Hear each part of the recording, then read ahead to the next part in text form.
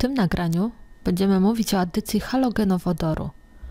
Jest to kolejna reakcja, jakiej ulegają alkeny. W trakcie tej reakcji pęka wiązanie podwójne w alkenie. Do jednego z atomów węgla przy wiązaniu wielokrotnym przyłącza się atom wodoru, a do drugiego atom halogenu. Halogenem może być na przykład chlor, ale także brom i jod.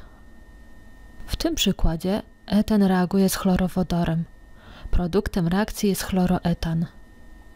W trakcie reakcji elektrony pi związania podwójnego w alkenie przyciągają do siebie kation wodoru znajdujący się w halogenowodorze.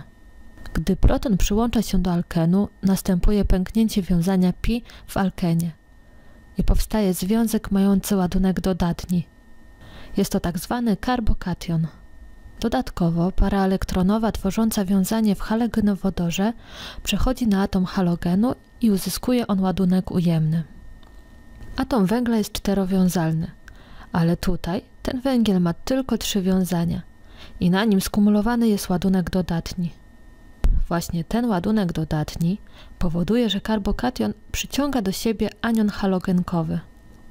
Kolokwialnie można powiedzieć, że karbokationy bardzo lubią elektrony. Są więc elektrofilami. W anionie mamy dużo elektronów.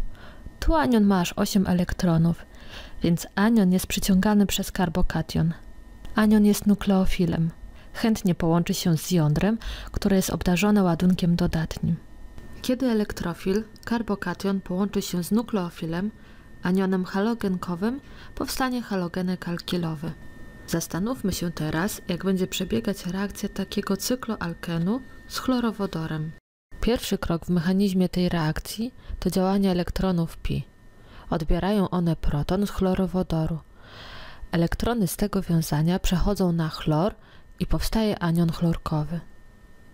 Proton zostaje przyłączony do cykloalkenu. Tylko zobacz, tu pojawia się problem. Do którego atomu węgla należy przyłączyć proton? Do tego czy do tego? O tym, gdzie należy przyłączyć kation wodoru, mówi nam tak zwana reguła markownikowa.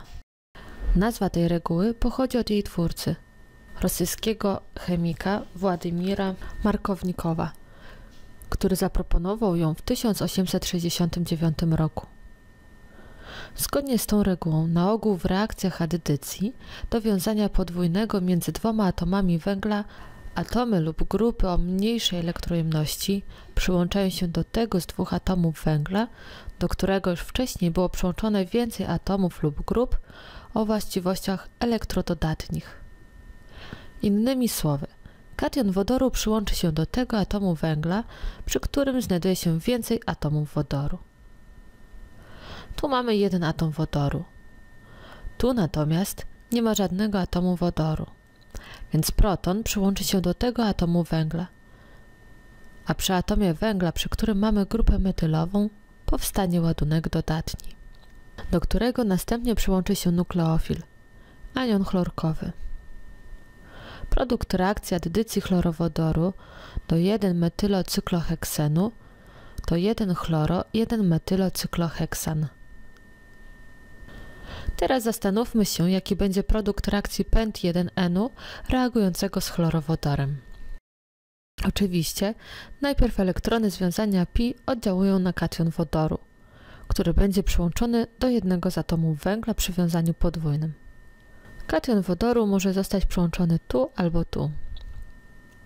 Jeśli kation wodoru przyłączylibyśmy do drugiego atomu węgla, wtedy powstałby pierwszorzędowy karbokation.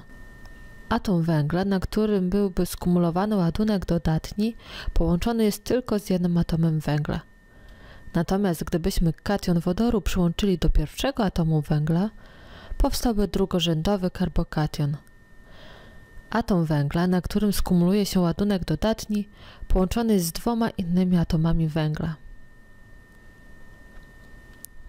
Zbadano, że im wyższa rzędowość karbokationów, tym są one bardziej stabilne. W związku z tym kation wodoru przyłączy się do pierwszego atomu węgla w węglowodorze. Jest to oczywiście zgodne z regułą markownikowa. Przed reakcją tu były dwa atomy wodoru, a tu tylko jeden. Anion chlorkowy przyłączy się do drugiego atomu węgla. W wyniku reakcji powstanie 2-chloropentan.